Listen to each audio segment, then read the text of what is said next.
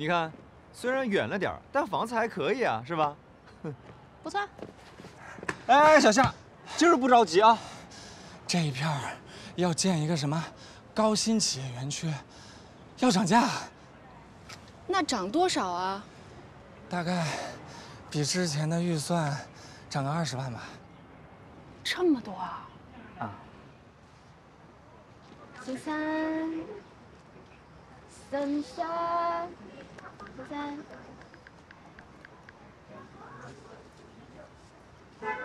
你再玩手机，我就把你手机扔了。我在找童宇他们借钱，我要买房。你以为借钱不还啊？买房子又不是逞能的事儿，得做计划。我做了计划。这次我回上海，我一定要给你个家。买房子又不是你想买就能买到的。再说我也不着急啊。我着急。你着急你也得靠你自己啊。我现在不是靠我自己不行吗？你之前给我那些书，我现在算是彻底读懂了。书里面有英雄，也有小人物，而我注定就是那活不过三章的小人物。现在弄成这个样子，怪我没有看清我自己。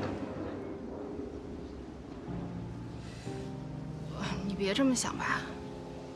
我知道我自己什么样。这就是现实。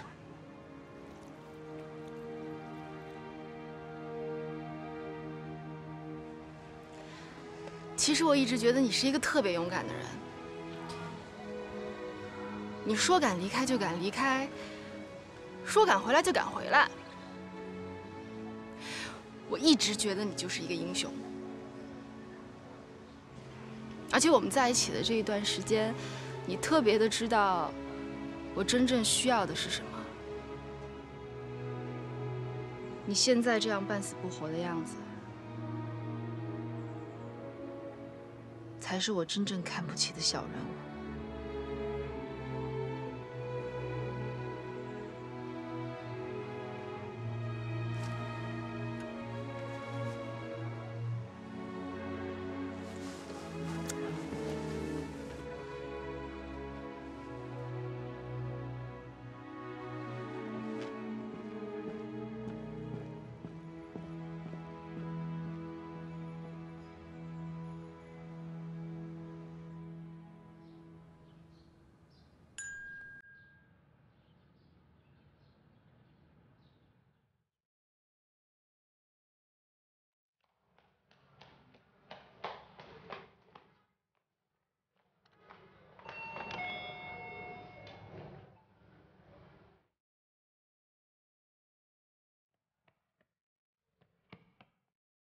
像你这样的情况啊，做手术的时候要注意一些问题。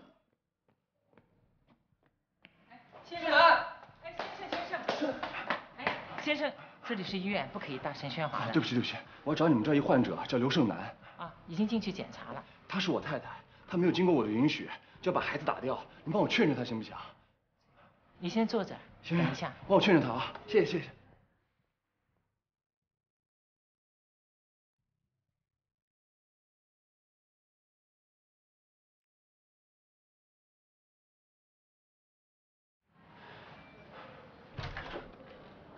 是男，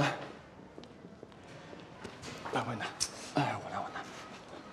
这里是医院，那么大声嚷嚷干什么？谁是你太太了？哎呀，做个 B 超而已，至于那么紧张吗？一点基本常识都没有。所以你还没做是吧？约在后天了。我，哎呀，那那个你等会儿。哎呀，你就别犟了，让我扶着你点吧。你现在身子跟以前不一样了，特殊时期走路能不能慢一点？我知道了，我是要赶回去开会，包给我。虽然工作很忙、很辛苦，也很重要，但是我们能不能商量一下关于孩子的问题？能商量出个什么结果呢？小飞，你以后不要再问这件事情了，问了也是给自己添堵。这件事情，我自己会解决好。咱们复婚吧。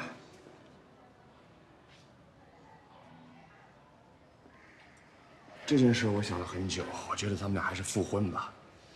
如果咱们俩复婚之后，孩子就不会像我这样，他会有爸爸，他会有妈妈，他会有一个自己的家庭，他会很健康的成长。我希望你考虑一下。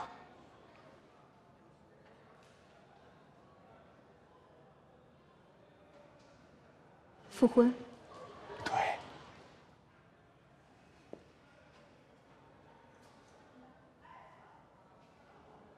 婚姻是我们俩之间的事，跟孩子无关。你的复婚，是为了孩子，为了你心中的内疚，却不是为了我。我不希望你有任何的误会。我跟你说出复婚这个事情，我不仅仅是为了孩子。最近我经历了很多事情，我也想了很多事情。我很了解你。你因为熟悉而厌倦，又会因为有距离而又产生新鲜感。但是过了半年、一年，又会因为孩子的出世引来一系列的麻烦而又产生厌倦吗？然后呢？再离婚？我不想再这样。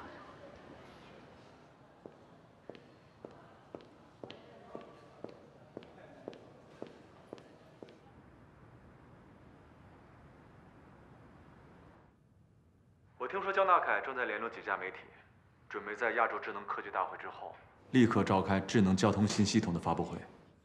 他们很高调呀。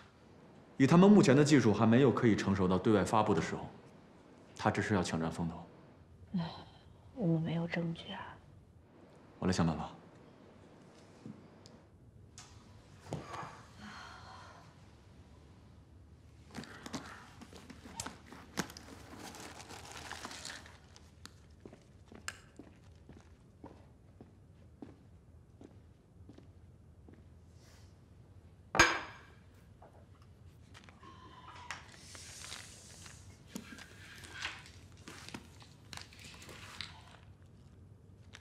啊，你又头疼了？哎呀，我跟你讲，我现在遇到的全都是棘手的问题啊！你别告诉我你这儿还有问题。啊，对，我还真有别的事儿。嗯，嗯，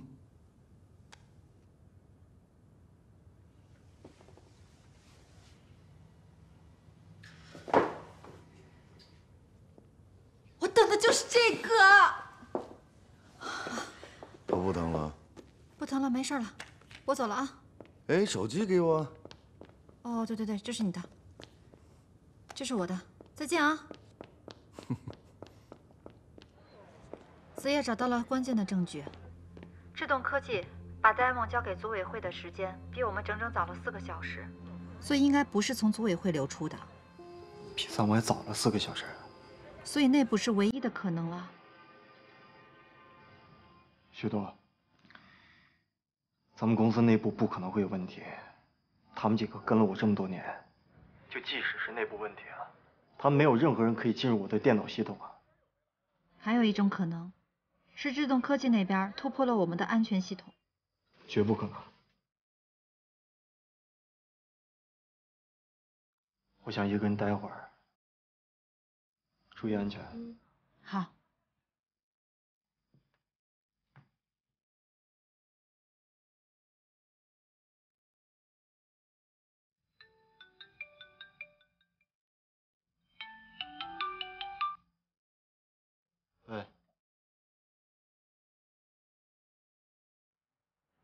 我是一个工程师，我不是贼。通宇，咱俩在一个公司这么多年，彼此看不惯，不喜欢对方的性格。但是说实话，你在我心里一直是我追赶的目标，可敬的对手。我在你心里，怎么说也算是一个合格的工程师吧？当然。作为智动科技的员工，有些话我说出来不妥当，但是我觉着我不说出来更不妥，我实在是忍不了了。你知道吗？智动科技竟然完成了一个从未上过会，也没有立过项的项目。这到底是怎么回事？周四上午六点钟，江大凯让我提前到办公室，在一份项目底下署名。他让我保密，让我选择，我签了。早上八点钟，这个项目就出现在亚洲科技大会上。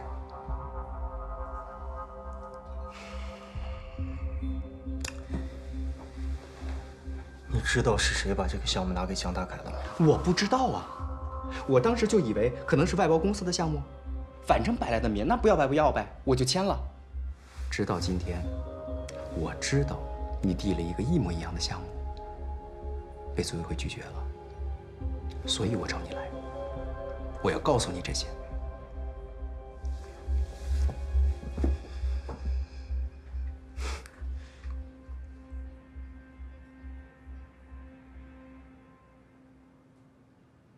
我没有想到你会怎么？你没想到我会这么坦诚吧？没想到我会帮你吧？对，咱俩斗了这么多年，我知道我没赢过。后来你从公司走了，我却觉得你还没走。我觉得。公司处处还都有你的影子，所有人都在讨论你。你知道我多羡慕、多厌恶这种感觉吗？现在公司里没人讨论你了，我却觉得我开始怀念这种感觉了。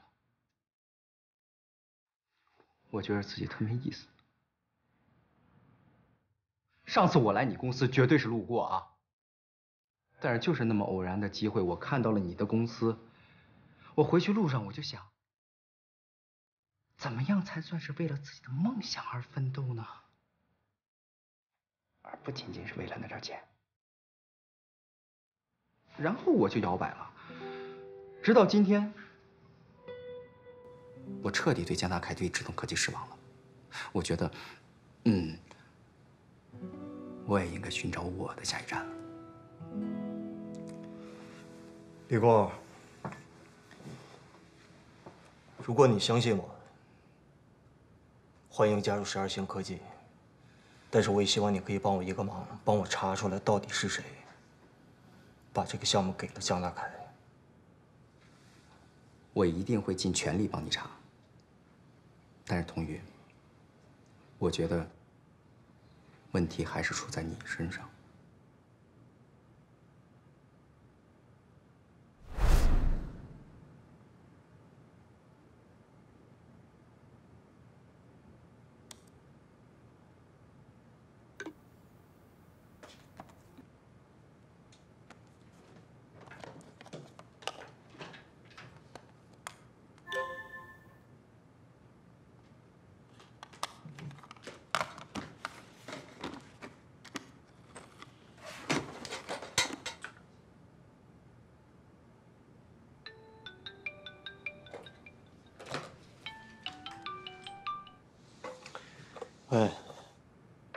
许多出事儿了。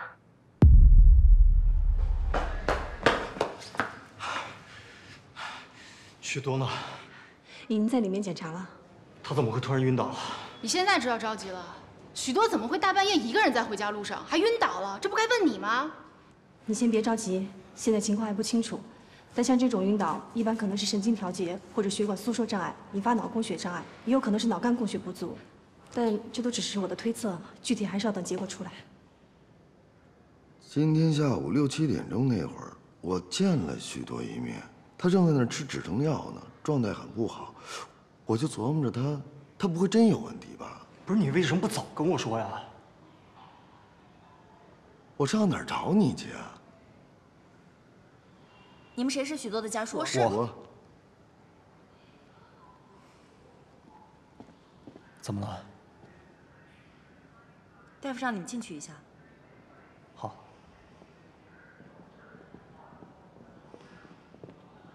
这个呢，不是普通的贫血，如果数值呢是在一百到一百零九之间，就是属于轻度贫血；低于八十九呢是属于重度贫血。他现在这个数值呢再往前一步就严重了。你们看，他的血小板和容积率都是低于正常值的，也就是说，这个患者呢他长期处在贫血的状态。现在是因为身体处于疲劳期，所以呢引发了重度贫血。我建议呢继续观察，血小板持续的降低的话。嗯，不排除重度血液病的可能性。你，你是说他会有重度血液症的可能？嗯，我是说不排除这个可能性，也不用过度的担忧。啊，先办住院吧。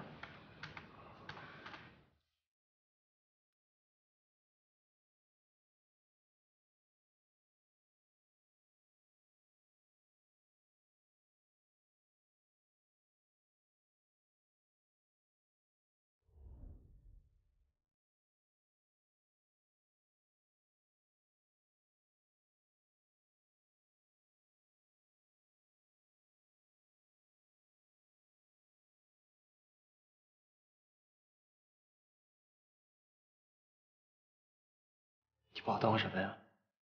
眼里只有钱是吧？我是为了你的梦想。可是你有听我的吗？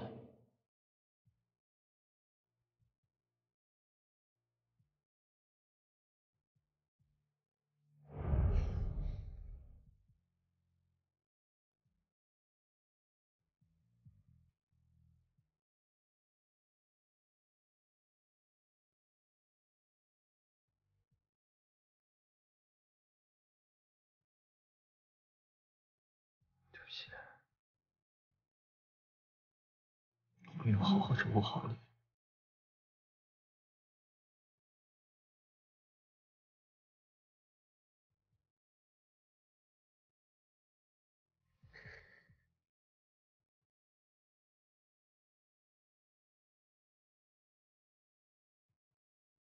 想哭就哭出来。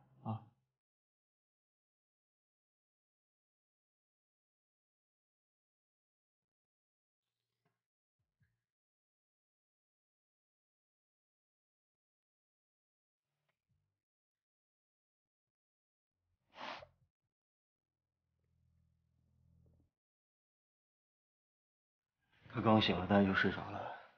要不你先回去休息，我来照顾他。你们俩到底怎么回事？你之前怎么说的？你现在怎么做的？人好好的交给你，怎么变成现在这样了？你们俩一起开公司有那么多事儿吗？他每次见到我都是童宇怎么了？童宇怎么了？他满脑子都是你，你呢？你脑子里只有你那点破事儿，你的工作，你的梦想，你创造，你的需求。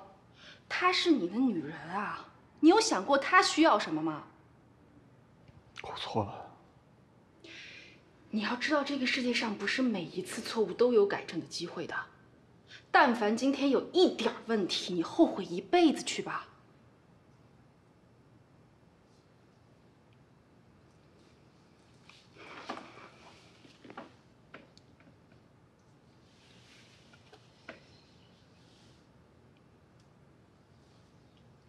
行了，你别在这跟赎罪似的。你就算想补救，也不差这一会儿。你状态也这么不好，你再倒了，谁有功夫照顾你们两个病号啊？回去歇着吧，明天再来。我在这儿，你还不放心啊？走吧。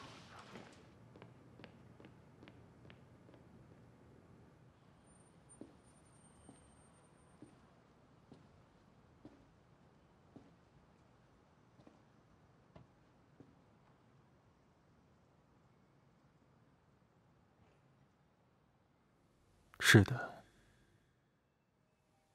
我似乎变了。最近的我只顾着向前冲，却没有看到他，我身边的他，那个总是问我吃没吃，却总顾不上吃一口饭的他，那个总是怕我疲劳。却从不说自己痛苦的他，那个永远在我身后为我遮风挡雨却永远安静无声的他，我却像个傻子，永远不知道回头看一看身边的他。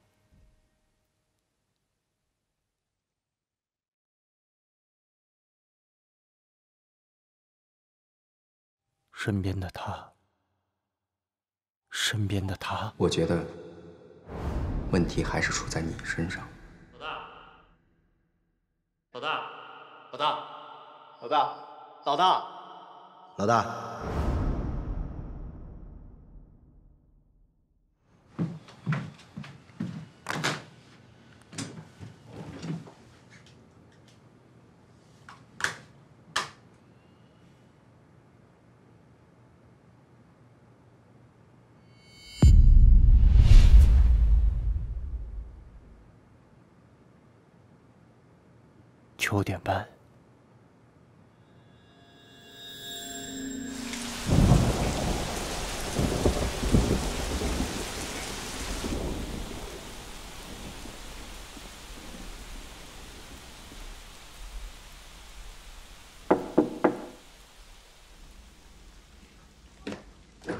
谁呀？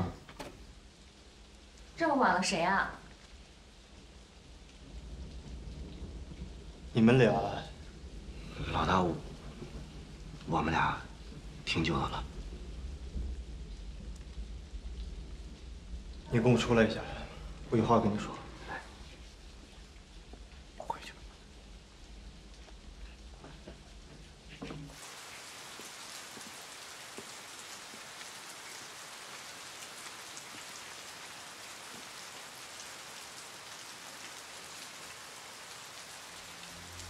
是你吧？说什么呢？什么是我？周三晚上只有你我许多，咱们三个人在公司加班。不是这个，我那天我早就回去了呀，你是知道的呀。我有一个习惯，你应该很清楚。我的硬盘我不会借给任何人，因为我不相信别人，但是我相信你。我把硬盘借给你，你没有还给我，你以为我忘了？小韩，这是我最后确定的思路方案，你仔细看一下。好，记得把 U 盘给我。好嘞，没问题。而你，是唯一一个有能力破解我办公室面部识别程序、破解我电脑密码，再用我的 U 盘盗走我未完成的 demo 的人，百分之九十的相似度。看来你还是那个最聪明的人。所以你拿着我的硬盘，在我的电脑里边拷走了我所有的资料，让我无迹可寻，对吗？对啊。但你知道为什么吗？嗯？我为了生活，为了生活。你不觉得你这么回答是在侮辱那些努力生活的人吗？侮辱？我觉得“侮辱”这个词儿不应该从你嘴里说出来吧？你觉得你侮辱我还不够吗？哦，对了，这是开玩笑，是提携，但是在我这儿，每一句都是侮辱。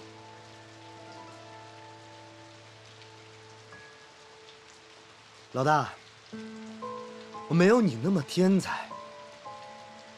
我没有你那么有能力，我在你这儿，我只是你脚底下一个特别小的蚂蚁。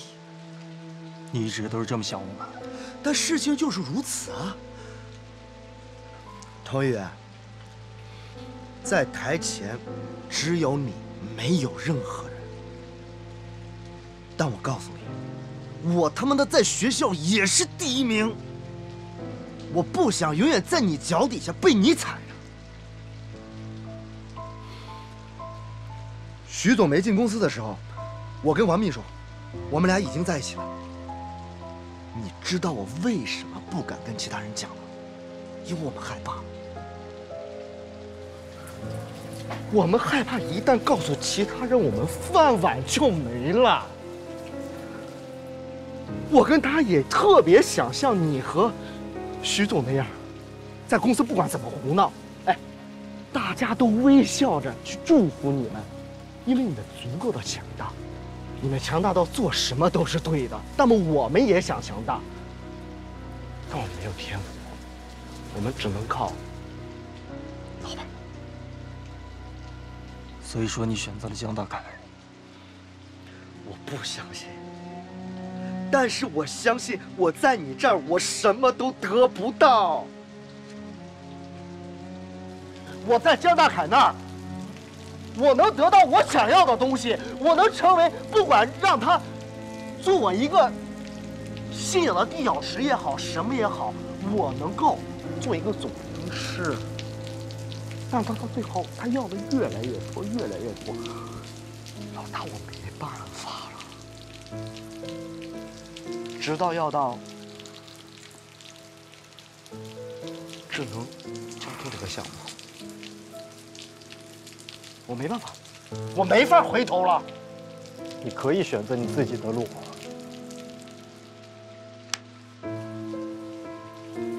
你觉得这条路，普通家庭、普通孩子是他能选择的吗？我在你这儿没日没夜的工作，我告诉你，我不累，我愿意加班甚至我告诉你，只要有机会，你把所有的工作都给丢给我，我 OK，我可以胜任。但是每到第二天，我还要微笑 微笑的面对你啊。但是到现在又能怎么样呢？到如今又能怎么样呢？我他妈的什么时候才能像你一样在上海？有自己的家，有自己的房子，我他妈离开这个狗逼的出租，我台湾，我他妈一直拿你当兄弟。别说这个啊，老大，事已至此了，都已经这样了，你告诉我你想怎么做？报警？抓我！但是我告诉你，越行。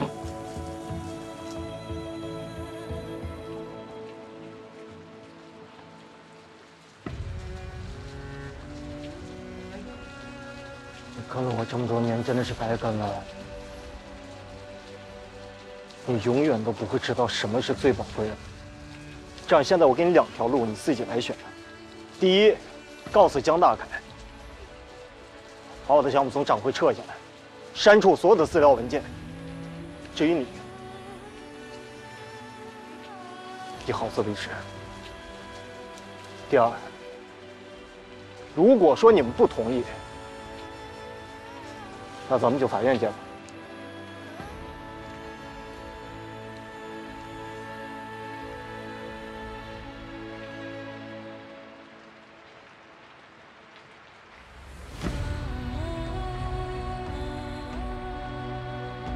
我一直希望你成为一个优秀的工程师，而不是一个犯人。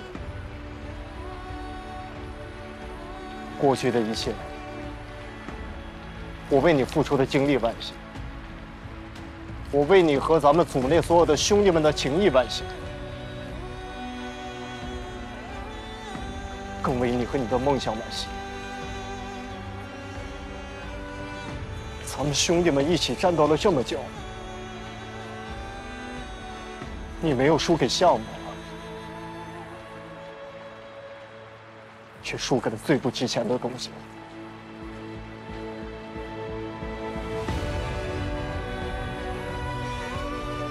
小兄弟，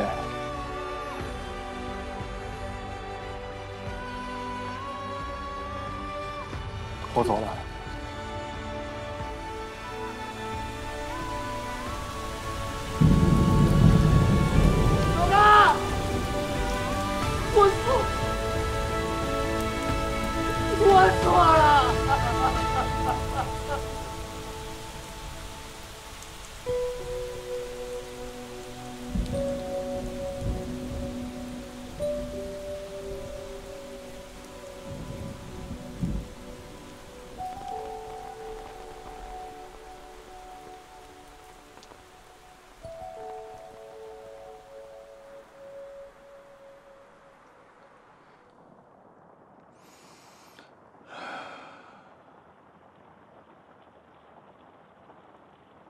知人知面不知心，没想到，竟然是谭小涵。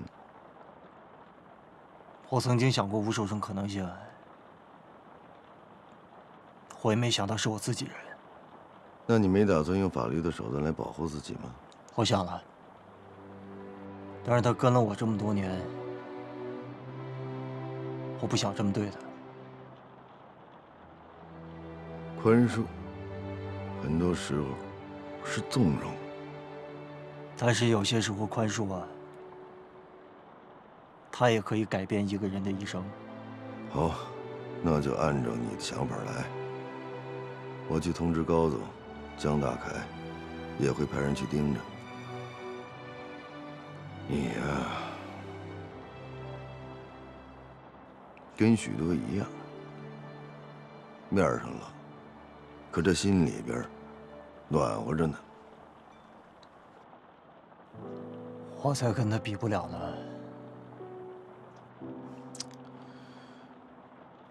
从小到大，大多数的时候都是我看见许多去照顾别人，很少看到别人去照顾他。小时候，在新新福利院，他一捞着好吃的就会分给别人，我就问他为什么呀？他告诉我，他心里边觉着大家需要。那我又问了，你呢？他总是笑着摇摇头。后来我才明白，在他的心里边，最缺乏的就是这些。因为缺乏，所以深刻。所以，他才不想让别人缺失。我这么说，你能明白吗？但是他缺失的安全感，我没有办法给他。公司发生了这么大的事情，他承受这么大压力，我还责怪他。我即使现在知道这个结果，那又能怎么样呢？现在明白还不晚。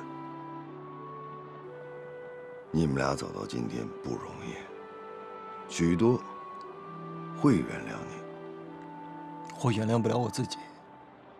你说我怎么跟你说，你才能明白呢？我觉着啊，在这感情里边，一朝一夕，一点一滴，两个人一起经历的，不管是好的，甚至是坏的，那都是过程，都值得珍惜。只要人还在你身边，什么时候爱都不会晚。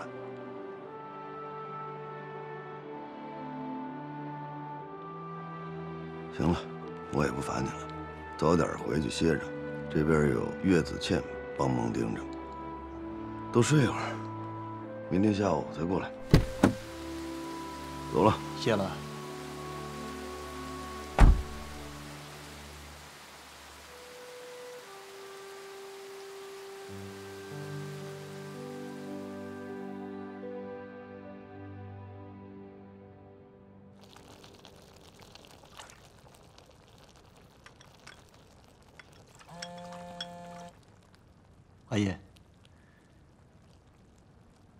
我今儿带不了金刚了。雪冬最近身体不太好，住院了，千万不要跟金刚说。爸爸，雪冬阿姨怎么生病了？那我要去看她。我不管，爸爸，你快来接我。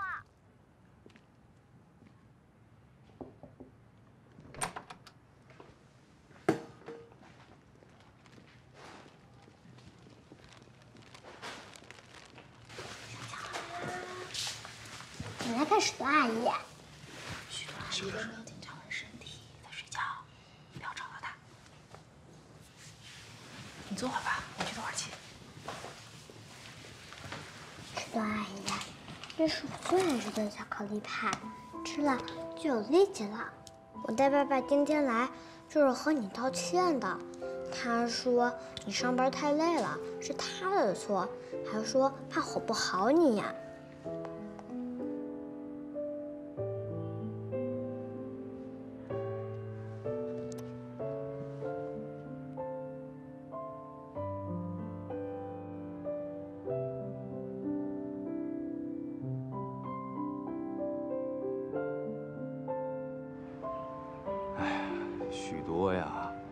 多呀，是肯定能理解你，而且你们公司的事儿也处理了。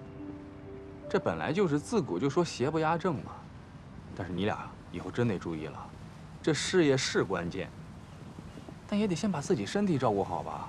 哎呀，你别说他了，他自己知道啊。我也创过业，我也很清楚，有时候自己说了不算的。哎呀，许多恢复的也差不多了，过几天就出院了。你也好好休息一阵子，到时候好好哄哄他。我觉得你们应该没事儿。第一次觉得我自己这么失败，可能在你们心里我什么都好，从小学到大学，从毕业到工作，我一路在赢，从来没有输过。但是现在你们觉得我赢了吗？我似乎好像已经忘记了那个最初的自己，到底想要什么。我当时被江大凯扫地出门的时候，非常的愤怒，非常的不平。我证明给他看，我可以，我一定可以成功。后来我成立了我自己的公司，我完成了一个似乎不可能会完成的设想。我继续在演，但是现在许多躺在病床上。我即使赢了全世界，又能怎么样呢？我觉得我自己真不是个男人，连自己心爱的女人都保护不了。那我岂不是更失败了？眼前的幸福我都抓不住，好像任何所谓的理由都能把我逼得毫无退路。我才失败呢！来来回回，反反复复，似乎总是鼓起了勇气，但又一次次被现实打败。哎呀，搞得现在我自己，还有最信任我的人，都灰心丧气了。行了，你们仨别凑热闹了。要论失败，哼，我应该首当其冲吧。有时候我一直在想，我一直在说我要自由，就想甩开那只拉着我的手。但现如今呢？我想抓住那只手的时候，那只手却要甩开我。就连我自个儿的孩子，我也左右不了。我觉得咱们哥四个不能再这么继续下去了。我不想这么认输。那我们能怎么办啊？我们现在必须要向前走一步。怎么走？结婚。啊我想和许多结婚，给她一生的幸福。我得跟盛楠复婚，还得留下这个孩子。那虽然我觉得你们有点天方夜谭，但是只要倩倩同意的话，那我也想跟她结婚。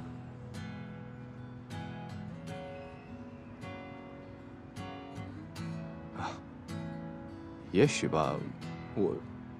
你少废话！我当然愿意啊。那咱们就说好了，谁也别怂。还是那句话，谁怂谁算的。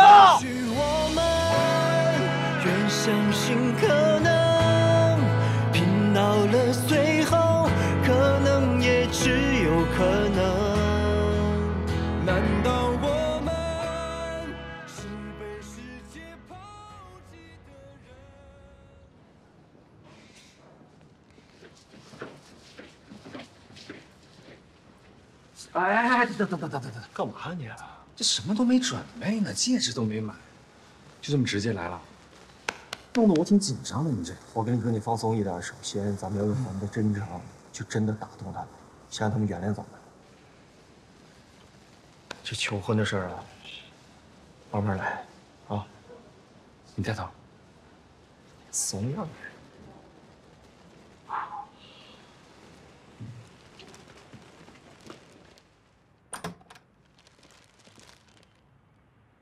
人呢？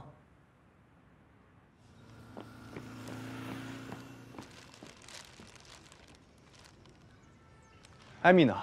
艾米今天请假了，没在店里。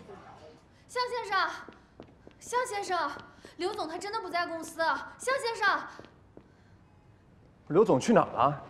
我也不知道啊。许多都出院了，跟岳子倩两个人都关机，完全找不到人。不是现在是这样，连白医生都不知道他们什么时候走的。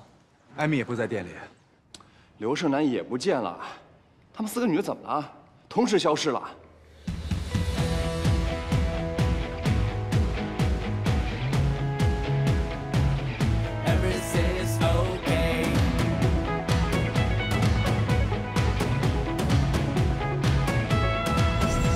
这四个女人集体消失啊？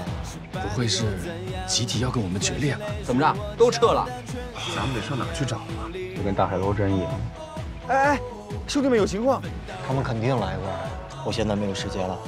有什么事情比项目还重要？许多许多。